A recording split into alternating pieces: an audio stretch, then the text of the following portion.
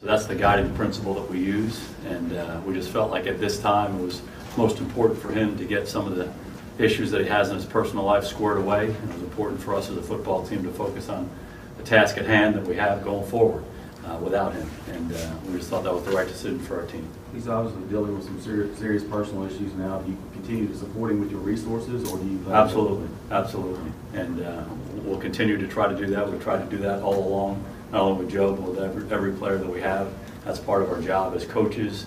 Uh, We have a player engagement uh, department that does a great job with our players and coaches and everyone else to try to help them with any issues that they do have, so that will continue. How are you a better team on the field with- without him? Again, we're just focusing on the guys that we have, and Joe had to take care of some personal issues. We feel good about the running back group that we have. Darren McFadden's really stepped up and taken advantage of the opportunities here uh, the last couple of weeks. We're